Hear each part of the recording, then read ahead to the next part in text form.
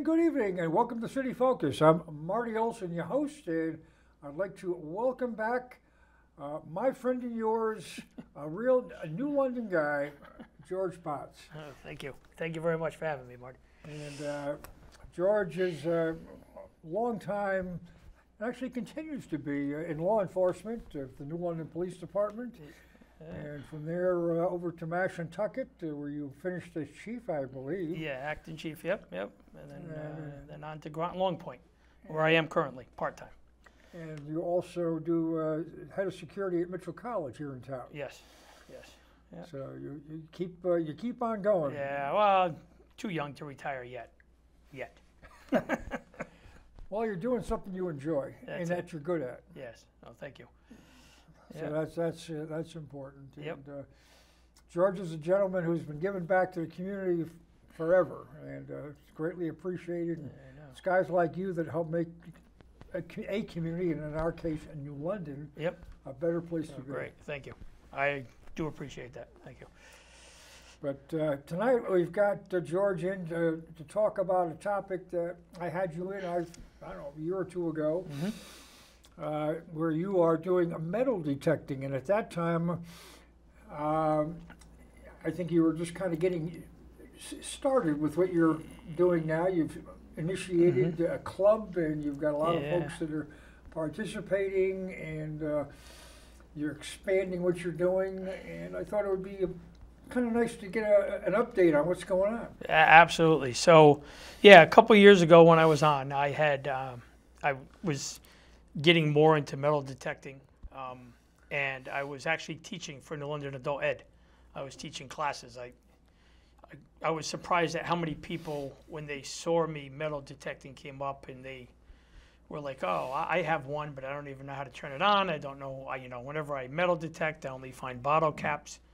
So I got together um, with a uh, family friend, Peg, uh, Peggy Cherick, who kind of runs the programs at London Adult Ed. We talked. She says, "Oh, I think it would be great to do." So I started that. Uh, I did that for a couple of years. Um, while I was doing that, I was in a club, uh, a metal detecting club, but they met up in Brooklyn, Connecticut. That's a bit of a haul. Yes. So it was nice to go there during the summer, uh, but when the winter came, it was it was not, you know, sometimes worth the drive in the snow. So that club was kind of after five years, it was slowing down. So I said, you know what, let me start a club down here in southeastern Connecticut. Why drive when I can just start one? So I started a club, um, Southern New England Relic Hunters. Uh, there's me, my wife, my kids all got together. We came up with the name. We came up with the logo. Um, we started the club. We meet every third Tuesday at Goshen Fire Department in Waterford. Um, Okay. So we meet there, and uh, it started off with you know 25, 30 people, and I, in November it'll be two years that we've been in existence, and we're up to just about 70 members. That's a, that's amazing. Now, Yeah. what, now, what what piqued your interest to even get in, involved with this? So I think what it is for me is I enjoy um I enjoy not knowing like that surprise. You know what I'm saying? I think that's what really drew me into metal detecting. I wasn't that much of a history buff. I do I did kind of like history, um, but I just liked the f- surprise of not knowing what you were going to find next. You know, and then what happened was, it's you know once I got into metal detecting, then all of a sudden, you know, and I I wish I had this passion in high school, but I loved history. I started reading all kinds of history books, all kinds of things about the American Revolution, the Civil War. Uh, I started doing research on the stuff I was finding. Uh, started studying coins. I, you know, back in the day, I probably couldn't even told you what a half dollar looked like, but now I can tell you, you know, certain years, certain countries. I mean, I have, you know, expanded my collection. So really, that's. I think it was the first, at first, the surprise, but now it's more of the historical. I love finding something that could get lost forever, uh, and something that you don't think you're going to find. You know, that's really neat. So, what uh, what type of sites lend themselves to uh, more success than others? Yeah, so uh, I like to concentrate on older uh, houses or older properties. Um, you know, I I reach out to people I know. I mean, I've gone by strangers' houses. I don't like to go up to their doors and knock, but if I see them outside, I go up and just start talking to them, explain to them what I do. Um, you know, we have uh, it being in the club, we're very respectful of people's properties. You know, we don't dig holes and leave them open. We know how to do it, not to ruin the lawn. And I explained that, you know, hey, listen, everything I find, you're more than welcome to keep. You know, if you don't want to keep it, then obviously I'll, take it. But, you know, I think people are just as interested um, in finding out what's on their property as I am. So I kind of concentrate on old houses, but Yeah, in, in that regard, then, do you have a written contract with, uh, with a, a homeowner or property owner? well, yeah. So uh, Uh, you know, laying out the, uh, I mean, if- let's say you find something that's exceptionally valuable.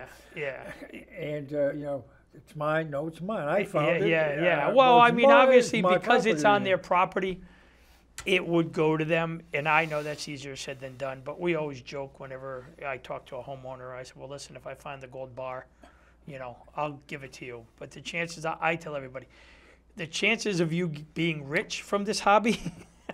you probably have a better chance of winning the Connecticut lottery, uh, to be honest with you. Um, you know, I don't, I don't do this for monetary gain. Everything I found, I have. Um, I literally have a room now dedicated to all my finds. So I don't, you know, people always say, "Oh, what's that worth? What's that worth? What's that worth?" That's the last thing I find out. Um, I just like the surprise. And if somebody wants to keep stuff, which people have done it before, that that's fine. I just ask them, just let me take a picture of it, so I can at least show it on my Facebook. We have a Facebook, you know, Southern New England Relic Hunters on Facebook, and uh, I do that. And there's also another Facebook page, uh, New London History and More. And I post pictures uh, when I find stuff in New London on that page as well. And people, I, I was surprised at how many people noticed when I stopped posting because I didn't want to because it, it's really about New London history. I don't want to make it all about my metal detecting page of stuff I found in New London. And I started slowing up, and people were like, "Oh, you know, how come you haven't been posting?" And people I don't even know that just knew me from face, obviously from the uh, Facebook page, and uh, would come up and say, "You know, please, I enjoy seeing the stuff. I, I really," and I was like, "Okay." So now and then I'll post on that website as well, but uh, or that Facebook page. But it surprises me how many people are fascinated by it. Yeah. You know. Have you, have you found anything that, uh, let's call it, uh, of, of museum quality? Eh, Well, uh, you know, Whether it's the Lyman Allyn or something maybe a little larger, uh, of, you know, Hartford, Boston, yeah, or New well, or. I can tell you that it's it's definitely. I'm sure there's stuff out here, especially in New London, in New London County. Uh, I don't think people realize the history, but I haven't found anything museum quality. I did find a uh, I did find an, a really nice arrowhead um, that I had reached out um, to see if somebody wanted it for their museum, but the homeowner claimed it. It was on their property, which is fine. Uh, he took it. What he did with it, I, I, I don't know. But I mean, you know, I've always said uh, if you know, and I've I've lent out my stuff, and I just say, hey, listen, just um, give me credit for finding it. I don't care if you just say, you know, this was found by George Potts down in the corner. You know, I'm not in it for uh, monetary. I have done some historical places around the area, um, and they have taken my stuff that I found and put it in their uh, houses for display. They're not museum quality, but you know they still enjoy it. They still enjoy it. You know they can say this was found on this property. You know, old 1700s, 1800s houses. So, uh, do you spend most of your time in New London, or have you expanded your geographic uh, uh, reach a little bit into New London County or beyond? Yeah, so I've kind of expanded beyond. I would love to just stay in New London, um, but as you know, New London, there aren't as many properties, or the properties that are there aren't as massive as some of the other ones. Uh, you know, uh, another good spot to go are are uh, old farms, and the reason why old farms because they're constantly tilling up the land, so they're constantly bringing stuff up Uh, so that's actually big. So I've been out to old farms, you know, out, you know, Brooklyn, Sprague, you know, uh, the country section of the state. Um, out to Tiffany's out in but Lyme or uh, yeah, no, I, I have not. I have not. But it, it's funny you say that because the Tiffany's, that's Mitchell College, as you know, that was all part of the Tiffany's property, and that's where Mitchell College got that was from the Tiffany's.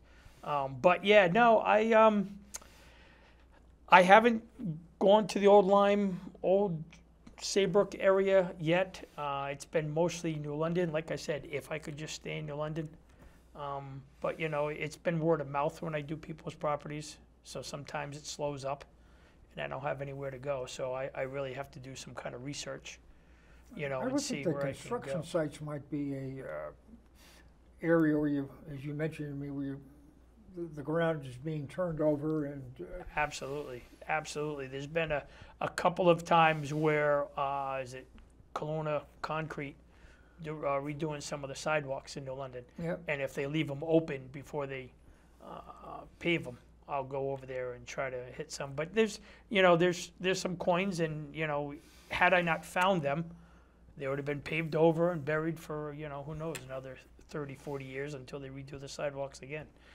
Um, but you know, so yeah, so uh, construction sites are good. I you know anything, and I always I you know, and I always just talk about this in my classes, but I try not to uh, focus just on old properties because one of the one of the older coins I found it was an 1878. Matter of fact, I or uh, I'm sorry, 1787. I found it, and I think I had it on your last property. I found it in my parents' house after they built the house in 1995, and I was just playing around with the metal detector, not expecting to find anything. You know, I was just testing it, and I found a 1787 Connecticut copper. Um, you know, so come to find out, obviously that was all land. That was farm land uh, for years. So, you know, so I always tell everybody just because the property's not or the house isn't old, doesn't mean the property is not uh, old. have you spent any time down at uh, Fort Trumbull? No, so Fort Trumbull is uh, Fort Trumbull is actually one of the ones listed in. Uh, so Connecticut has a law, and, and this is one of the th- things that I bring up with my um, when when I was teaching. Connecticut does have laws on metal detecting in state parks and state property, and they actually have certain properties that are mentioned, and Fort Trumbull is strictly one of them. Listen, I would. l- I tell my wife because every night when we go for a ride around New London and I go by Fort Trumbull, you know, it's the first thing I said, oh my God, I would love to do that. What can only be in there, you know? Because I mean, that, you know, you're talking, so, you know, you talk about Fort Trumbull and, um, you know, there's, there's so much history, especially with the Revolutionary War and the War of 1812 in New London, because there was that article that was in the paper just not too long ago about Fort Nonsense Yep. that was up near Ocean and Willits, um, you know, and uh, so yeah, so and that's up really where I live, um, and I've you know being up in that area and stuff like that, I have found some uh, War of 1812 items, some stuff from that that you know I. So who knows? Who knows where everybody lives? You don't know what was there before there, uh, before you were there, before your house was there, and and land was land. You know, he always. Well, I know that, uh, I mean, for instance, in the south end of the city, when my father was growing up, and he was born in London back in 1918, hmm the south end of the city was primarily farmland. Yes.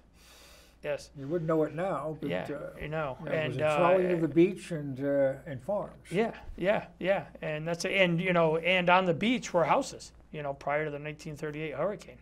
Um, so yeah, so there's like I said, I don't, I didn't appreciate. Now I've lived in London my whole life.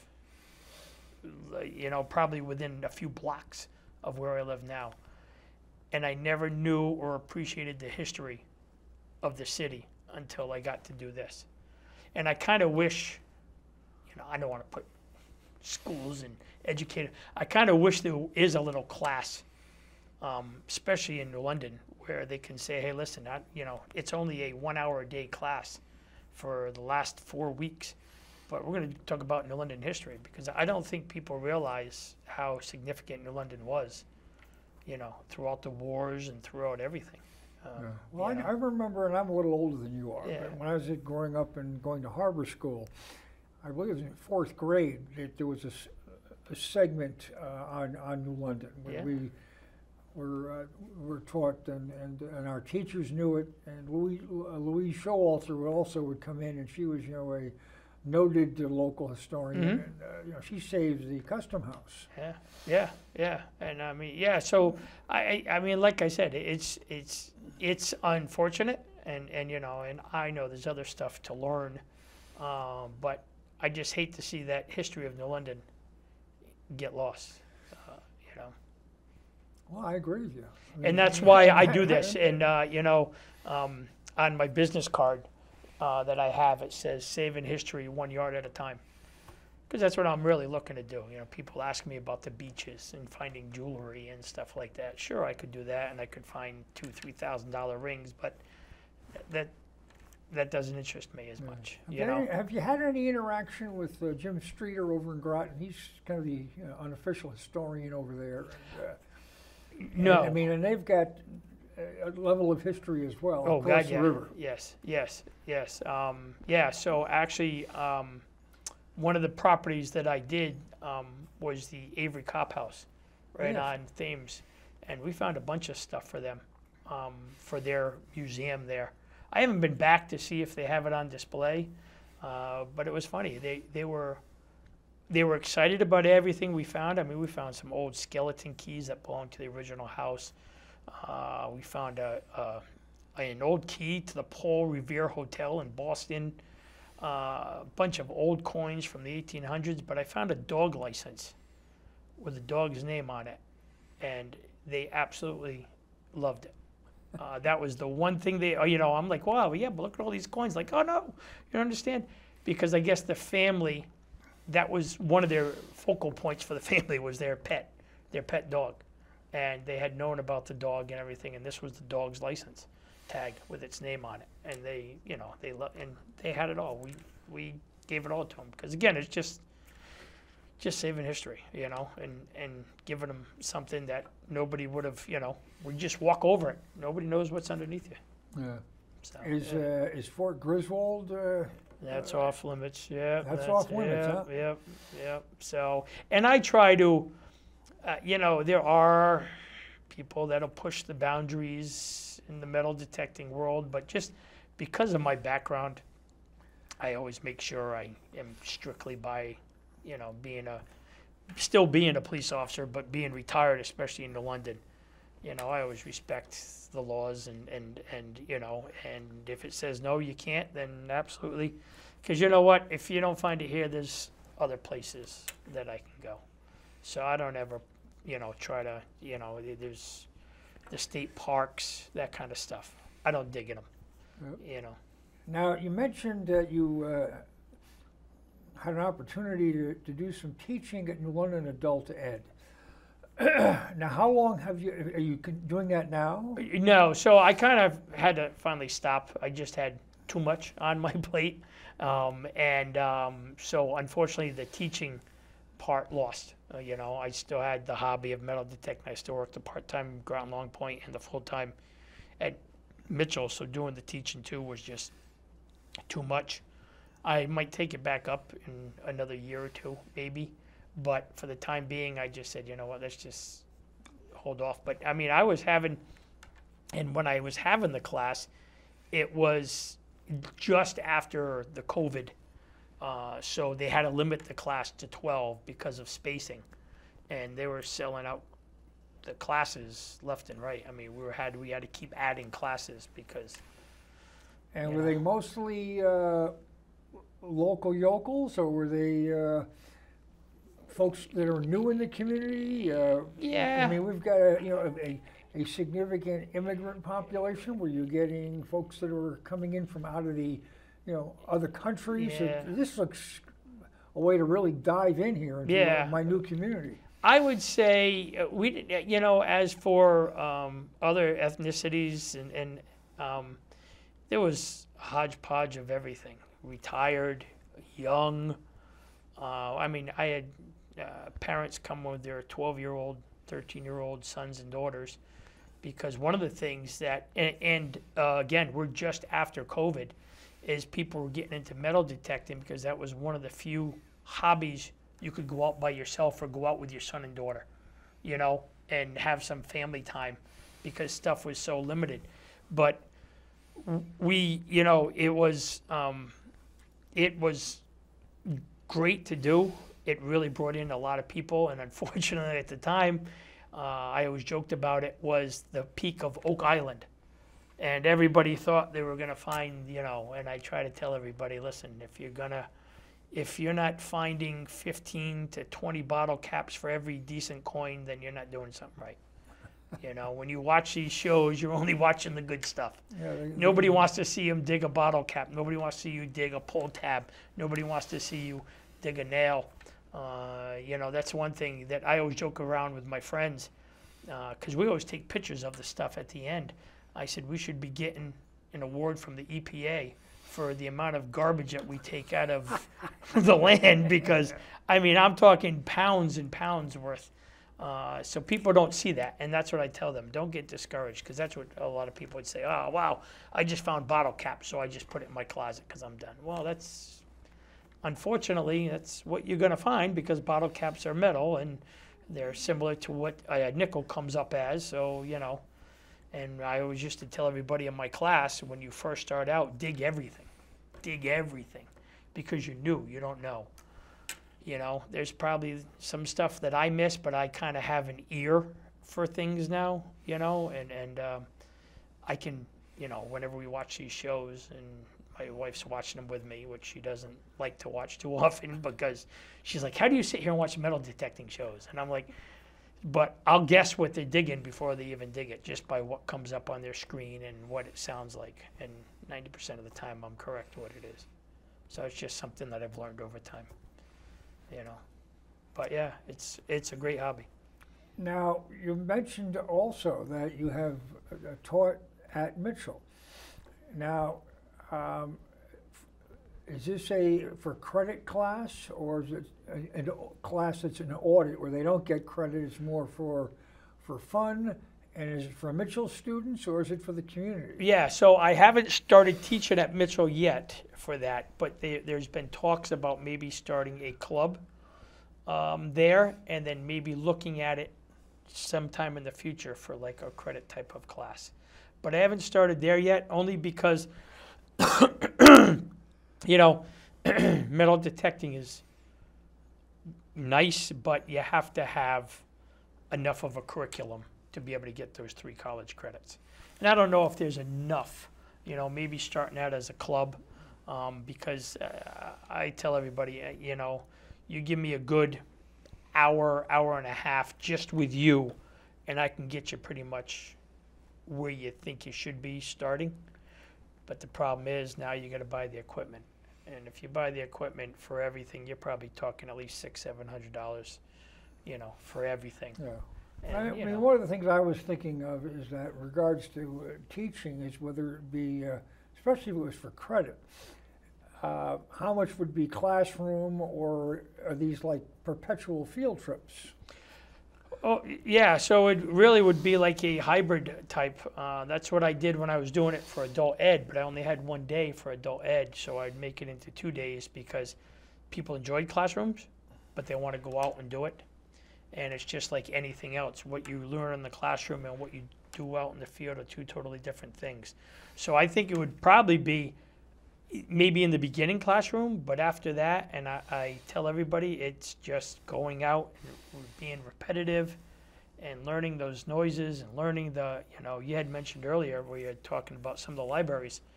Uh, you can take out metal detectors, and you know, people like, oh, well, I can go get one. Well, it's not as easy as just to turn it on and go, because if it was, then everybody'd be doing it. You know, just not a beep for everything. Um, so yeah, so really would be probably the probably more of the field work and going out and doing stuff and finding out uh, what that tone means. What does this mean? You know, what does that mean? Certain numbers. Uh, there's there's actually quite a bit to it. There really is. You know, because like I said, if it was easy, then everybody'd be buying one and going out and finding everything. Um, you now, know. now, when you were on last time, you were mentioning that uh, At, at the time, it was Chief Tom Curcio, now retired Chief Tom Curcio, was uh, going out with you from time to time. Is he still uh, hanging in there? Yes, he's still in there. Matter of fact, uh, the other night, just uh, literally, I think at like seven o'clock, um, I said, you know what? I said I'm gonna go run down to Ocean Beach and go do some metal detecting. I was just looking for somewhere quick, and I called Tom and said, hey, we only got about an hour and 15 minutes late. You want to come down? And he's like, absolutely. And he came down. But we try to get together as often as we can. You know, he's got new grandbabies. So his priorities are a little different than mine, which I understand. Um, but, you know, um, yeah, no, he's, and, uh, you know, I enjoy going with Tom because we, we actually laugh and have a good time. And uh, Tom's found some pretty good stuff as well. And, you know, with Tom, um, came uh, Roger Tompkins, who had retired from the fire department, and uh, now Chief Scow Vern. Uh, he had been a member, uh, but he just didn't have time. Um, but he had been a member as well. So we had like three or four of the retired New London firefighters or current firefighters that had uh, joined as well. So yeah, so it's a good group, and we try to, you know, metal detecting is fun, but it's even more fun when you go out with other people, you know, and you see others' finds, or you, you know, you're out there just joking. It's very good camaraderie. Uh, you know, like I said, we have uh, group hunts every now and then. Uh, you know, we have 30, 40 people show up, and we just go out to Now, now somewhere. to, to, to, to become a member of the organization, yes. um, I mean, are there dues or people just just show up and kind of float in and out, out as they Yeah. are in the mood? So here's what I tell everybody because I, I think some people are apprehensive because A, they don't have a detector yet, or B, they're brand new and everything. I says, listen, it's a great group of people. And I'm not just saying that because it's my club. They really, we really are. We're a great group of people. I've never seen a group more supportive of new members giving them equipment if they need it, if they have extras, so forth and so on. But I tell them the first meeting, come for free. Come and see what it's like. Come and sit there. You know, you hear me talk again, but we talk about events we have coming up. We talk about, we have each month we have a find uh, of the month category best silver coin, best, uh, you know, pre 1800s coin, best pre 1900s coin, so forth and so on. The winners of those, I give a silver dime to uh, which a lot of people are like, well, it's a silver dime. Yeah, but silver silver dime is probably worth about three dollars nowadays.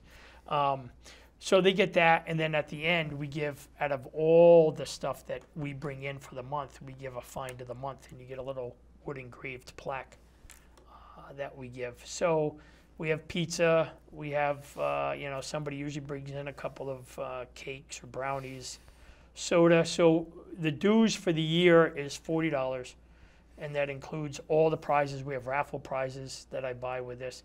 Um, I wish I could tell you that the club makes money off of this, but no, we don't. um, you know, as you know, pizza's going through the roof, but we, you know, I buy two sheet pizzas. Uh, we have door prizes, and um, usually I have at least 10 door prizes. Uh, and then with the raffles, I usually have at least probably 10 to 15 decent raffle prizes, including pinpointers and whatever have you.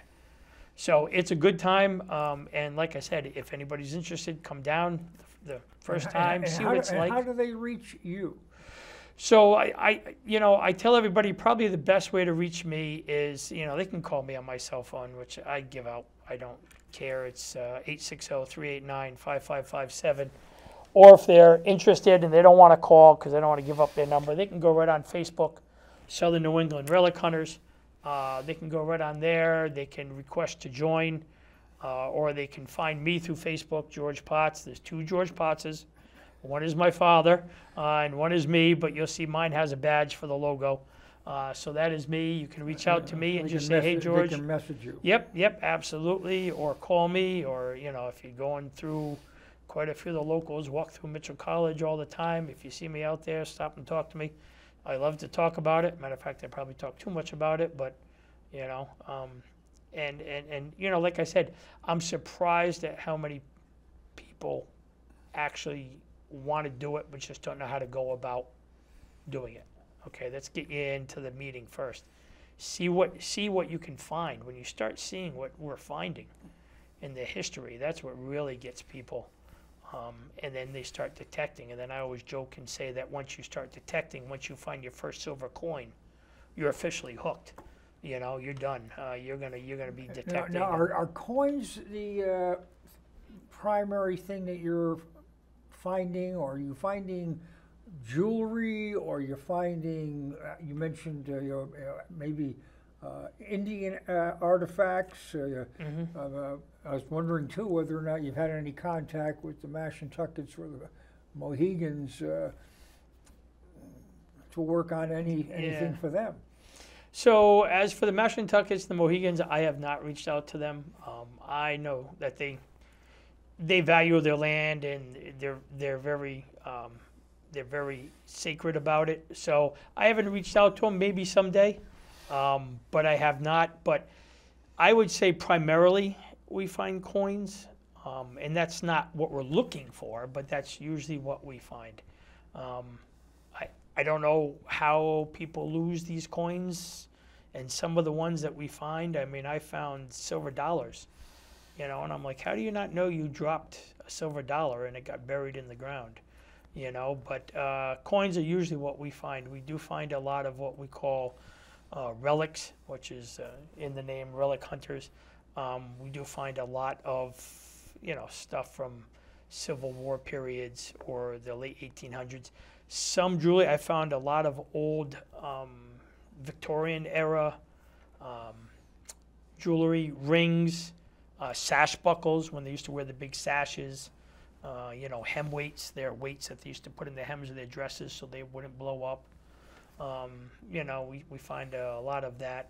Um, and again, you just never know. I mean, I, I, I, the, the stuff we find is just, and that's what's neat is you find something, and then when you're with two or three people and you're all trying to figure out what it is, and thank God for the internet because now we all have our phones, we're taking pictures of them, we're trying to do research, and find out, hey, you just found a you know a Victorian hat pin, or you know uh, uh, you know a late 1700s, um, you know something from the Revolutionary War, musket balls.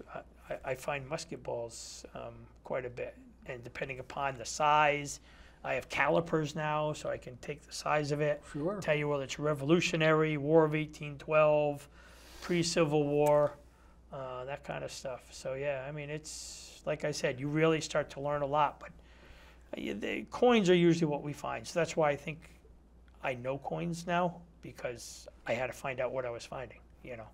Oh, now, now you brought a display here. Now, what do you? What, what did you bring in? So I, to, I to- to brought see? um, some stuff. I don't know how well you can see it, but it's you know, this is probably less than five percent of what I have. Um, but I try to keep some of the stuff separated. These are what I consider the nicer uh, coins, the nicer, meaning they have history.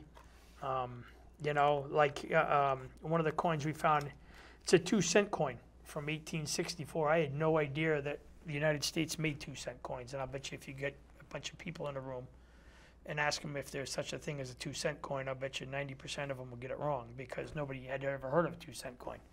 1864, they made two cent coins. And, and, and who's on that? Uh, Uh, so there's just a shield on it, and what the what the two cent coin was made for was postage at the time was two cents. okay. So nowadays they'd have to have a what 78 cent coin. so, but I mean that's a that's a you know a two cent coin, and I can always you know uh, one of my other better finds, and I tell everybody. But you'll see the shield on that side, and then on the back it actually says uh, two cent. So um, you know it's those are coins that I had no idea. You know, the, I found a uh, 1778, um, what's called a Spanish real. Um, so you know, this is a Spanish coin that was brought here. Ah, that's, that- that's Um, pretty clear there. Yeah, yeah. Well, yeah, and that's because that's silver. You know, I tell everybody, you know, I would love to. Here, let me show you what's a typical copper coin, and everybody's going to be like, "Well, what's that? That thing just looks like nothing." But I have strong lights. I have uh, microscopes that you know I can look under and I can see certain images depending upon which way you hold the light. You can see, but a copper coin, and people say, well, that you know, there's no detail. Well, it's copper, and it's been in the it's been in the ground for close to 300 years, possibly. So you know, that's what a copper coin looks like. So when people say, oh, well, what's that worth? Probably not much. But to me, you know, this is a, I think this one right here is a King George II, which is uh, 1737. So you're figuring this is 40 years before we became a country. This uh, English coin, British coin, was in London.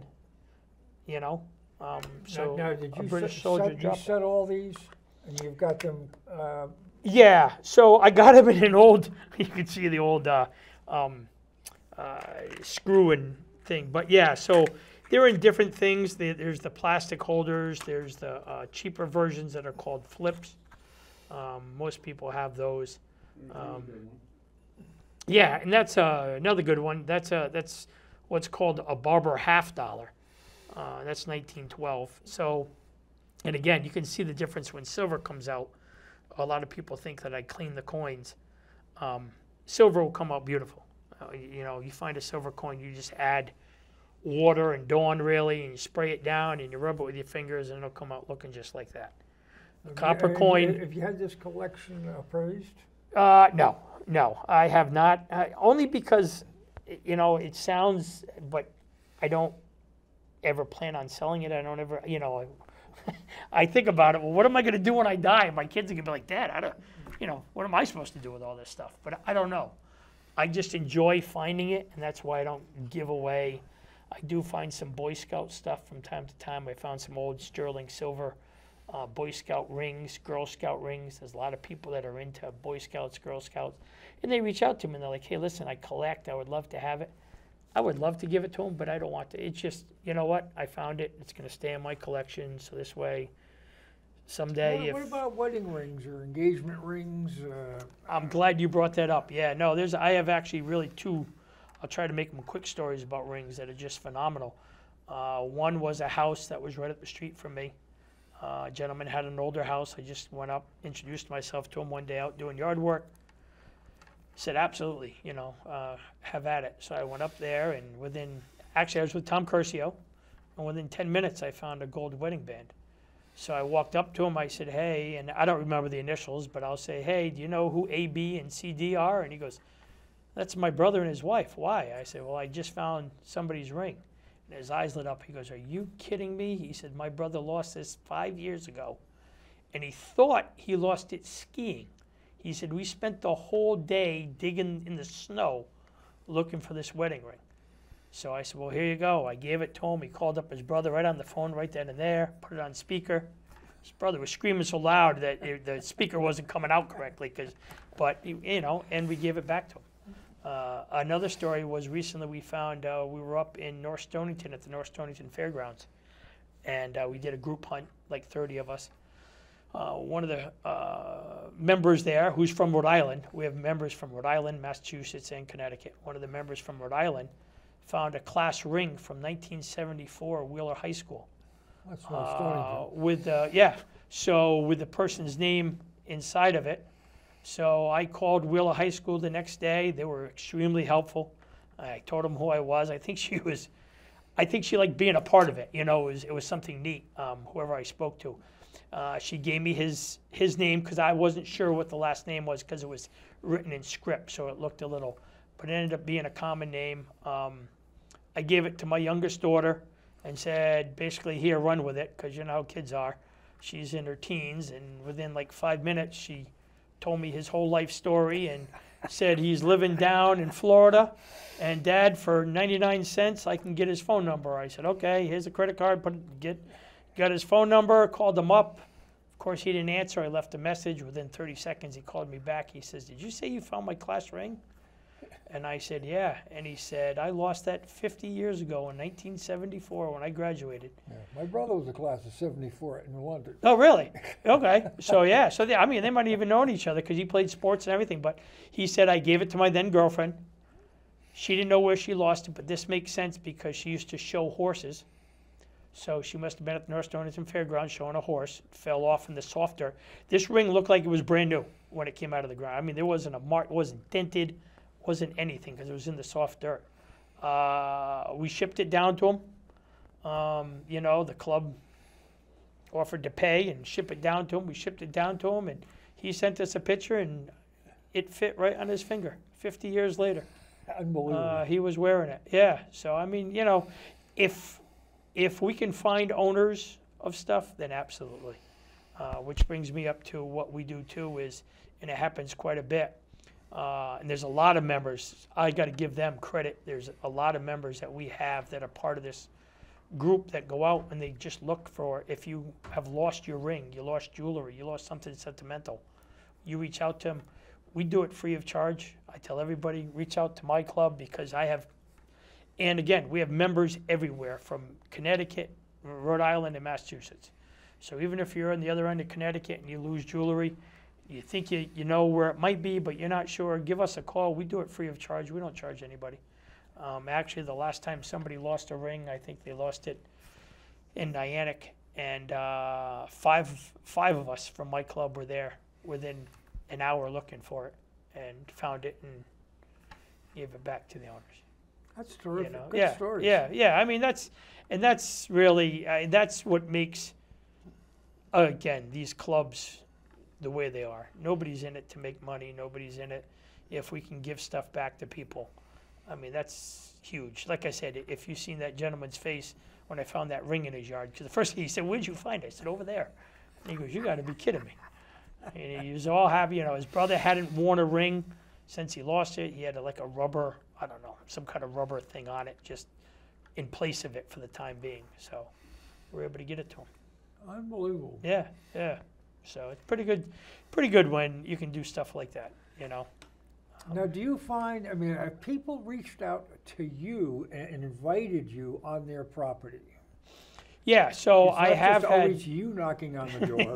Yes, and that's so word of mouth really, and and I always tell everybody whenever, and most of my friends know uh, if they bump into somebody or if they have a friend or if they have a relative or they know somebody who knows somebody that has an old property, uh, and I have had people reach out and say, hey, listen, I have this farm, you know, it's 1820s, uh, you know, any way you can come up, uh, and absolutely, you know, I'm there as fast as I can, but depending upon the size of the farm, that's when we'll have like a group hunt. I'll invite the members. I'll say, listen, next Sunday we're all going to meet nine o'clock. We're going to go out. We're going to find whatever we can. Show the owner, uh, you know, whatever he or she wants. They keep, and you get to keep the rest. Usually, what we do is we all come out that day. We all chip in five dollars. I give the money to my wife, Monica. She goes out and buys pizza and soda, brings them back. So we metal detect the whole morning, and then we take a break uh, for lunch. We eat. Um, usually, what I do is I usually bring a, a silver half dollar, and whoever has the best find of the day, we give them the half dollar. So it's just like a contest, just something to to get everybody really into it. And then after lunch, usually. 75% of them leave, the other 25% go back out into the farm. But yeah, people do reach out to me, and you know, I wish more did, to be honest with you. But you know, it's people's property, and I respect it. And it's that time of the year too. People enjoy their lawns, you know, whatever have you. And they don't want it looking like a bunch of divots. Yeah, uh, yeah, and you know, like I said, we do it enough. And and uh, I remember uh, there was one person that was asking permission, and the other person was like, yeah, "I don't think so. I don't think so." And I said, "Well, listen." You know your neighbor next door? Yeah. Well, you know I did his lawn two weeks ago, and he's like, "You did?" Because he could, he didn't see any holes. He didn't see anything. And I was like, "No." I said, "I'll go go over there now and see if you can tell where I've dug." He changed his mind. He was like, "Yeah." Then by all means, you know, because that's not our intention is to destroy people's lawns. But in, but, but as a safeguard, I mean, are you insured so that in case you've got a, a homeowner who is less than satisfied with the replacement or, Yeah. the, or the patchwork, whether it's legitimate or not? Yeah, When yeah. you've been in, you know, uh, you when you're in law Oh, enforcement, yeah, people yeah. have got the story for everything. Yes, yes, that's true. So yeah, so I do have insurance uh, through the club. Uh, that's another thing that the dues pays for. Um, I do have insurance through the club, um, and sometimes people, I would say probably less than 25% of the time, people ask if I have insurance. Uh, but like I said, 75% of the time, people are just like, listen, I've been dying for somebody to stop and ask me, yes, I, you know, show me what's in my yard. And then when I show them, they're like, you found this in my yard? You know, I found uh, I found a New York uh, park commissioner's badge, commissioner. So that's your, your top echelon uh, gold badge in somebody's yard in London. And they were like, "You found this in my yard?" And I said, "Yeah." And they're like, "You sure?" I said, "Yeah, I just found it over there." And you know, of course they're they're asking a question they they know I don't know, but they're like, "Well, how did it get there?" I said, "I, your guess is as good as mine." You know, and I called up the New York uh, New York Park Commission, spoke to the commissioner at the time. That's when I was acting chief. So she we talked and I, I sent her a picture of the badge and she's like, oh my goodness. She goes, that's old. She goes, where'd you find it? I said, I found it in London, Connecticut. She goes, where's that? And I said, it's in southeastern Connecticut. I said, I just wanted to make sure somebody didn't lose it or God forbid, you know, there was a murder back in the 40s and, you know, whatever have you. Uh, you know, why is this New York police? And she's like, no. And uh, uh, she said, you know, if you want to send it back. And I said, well, so I was kind of hoping I could keep it. She goes, oh, by all means, keep it. So I have a New York Police Commission badge. You know, so like I said, you, you just never know. And uh, this person never would have known, just like guy never would have known his brother's wedding band was in his yard. You know. What's the, uh, uh, average may not be the best term, but uh, depth that you will dig to, uh, Yeah. to find stuff? So most of these machines are pretty advanced. Um, that's why we're still finding stuff that we are because the machines of the 70s and 80s uh, weren't as depth. So these machines will go up to probably a good foot and a half depending upon. However, most of the stuff we dig is probably, you know, I hate to, but I would say probably between two inches and maybe six to seven inches, if that. Uh, sometimes we do dig deeper. We have what's called a pinpointer, and it's it's about nine inches. And I've dug holes where the whole pinpointers fit right in, just to show, you know, how deep I've dug.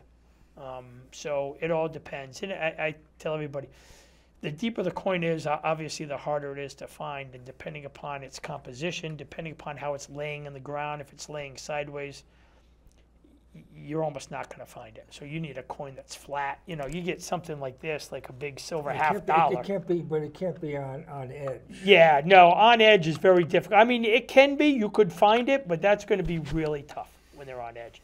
So you're looking, so if it's deep and it's silver and it's down low and big, yes, then you're go, you're to go. So yeah, I mean, it, you know, but it's, it is odd. I, I found, I've dug, and I'm not kidding, eight to nine inches and found a penny from 2020. And I'm like, how the heck did this penny get here? Yet, again, I talk about that 1787 coin that I found at my parents'. I don't think that was a an inch and a half deep. I mean, I, I literally thought it was a modern quarter when I first found it. So Do you do know, you you find a fair amount of more current currency? Oh God, yeah, yeah, um, yeah. So what I do is I keep all the current currency. Uh, I throw it into, I separate the pennies from all the other stuff, and uh, then at the end of the year I go over to the Coinstar, throw it in the Coinstar, and um, you know, and uh, I get an Amazon gift card because, and uh, a lot of people don't know this. Um, if you go on Coinstar and you just get the cash back, they charge you a percentage, 10 or 11 percent. But if you get a gift card, they don't charge you anything. So I get every year, I get an Amazon gift card. I take all my coins, throw them in, and uh, I, I probably get about 150 dollars a year uh, back just in pennies, dimes, quarters, nickels. Um, but that's you know that might be a little less because every now and then I might get done metal detecting and decide I want a coffee at Dunkin' Donuts, and I take three of the dirty coins out of my pocket and pay for a coffee with a coin. So, you know, uh, yeah, But you're not uh, collecting the more modern stuff? no, You're- you're because they're really not. And the reason why I collect the older ones is, um, a because their history, because they're not made anymore, and b because of their silver their silver content. Uh, you know, these coins are 90% silver, whereas the coins of nowadays don't almost have no silver in it. Uh, it's a copper and metal alloy. Um, the uh, modern pennies now are zinc. Um, and you take a modern penny and you bury it out in the dirt and go back in a year and it's going to look like Pac-Man because half of it's going to be eaten away. Whereas you can take an old wheat penny from the 1900s and get it out and it looks just as good as when it was made because it's copper. So yeah, so uh, you know the the modern the modern coins I just like I said I get an Amazon gift card and then I buy more metal detecting stuff because I really need more. You know I, don't know. Right now I think I have a metal detector for each day of the week. Don't ask me why, but I just have I, I think I have six or seven of them.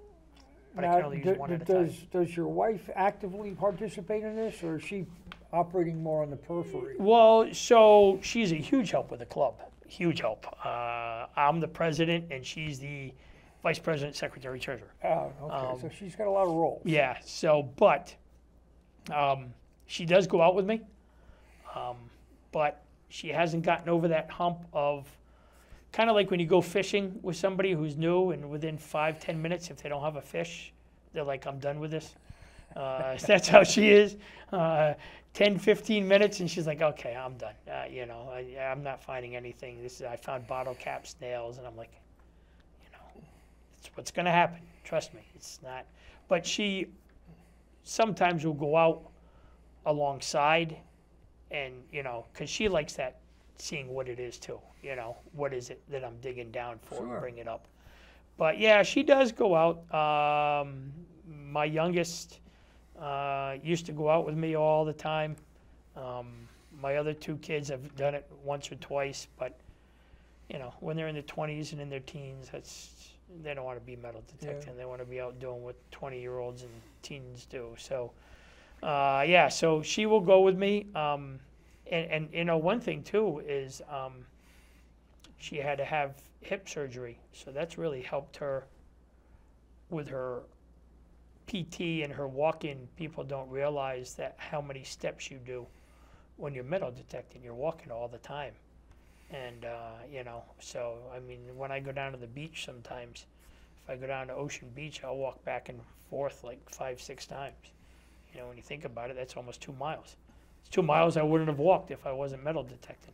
So it's very good exercise too. So that really helped her out uh, quite a bit. But like I said, she, um, yeah, she's. I, I got to give her credit. She's the brains behind. She's the one that talked me into getting the banners, getting the T-shirts. We have the T-shirts that have the same logo on them. Um, you know, and like I said, we we designed that logo. It's the spirit of '76. Uh, with them holding. It was a treat to have the, the banner up. I mean, it, it, It- uh, this yes. is, this is city focus, but tonight it's it's uh, New England. Southern New England Relic Hunters. Uh, Yes. give uh, give you the the promo. here, Yes, yes, so. just try to get a little plug in. But yeah, so, and we gave the Spirit of 76 metal detectors and shovels. Um, you know, just to show again the history, really. That's really what we're into is the history of everything. That's terrific. Yeah, Well, George, it appears our time has uh, exhausted here. But excellent. as always, Yes, a- thank a you very much. fun. I greatly I- appreciate it, Marty. I enjoy having you on, and uh, perhaps we can get you down to the Kiwanis Club and give give the abridged version for about 15, 20 minutes. Absolutely. I would love doing it. And uh, you can tell tell the group what you're doing, and uh, Yeah. would enjoy that. Sure, that'd be great. Thank you very much. Yeah. Folks, you've been watching City Focus tonight. I've been joined by George Potts, and we'll be back again next week. Good night. Thank you.